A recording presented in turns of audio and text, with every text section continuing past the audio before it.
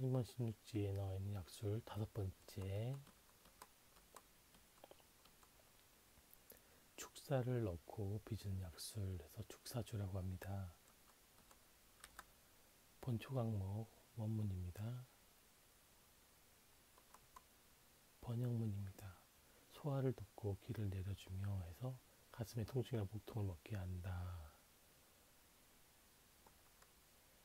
조리법입니다. 사인을 볶아 빻는다. 마한 사인을 주머니에 넣어 술에 담가 끓인다. 이렇게 나와 있습니다. 주머니가 필요하고요.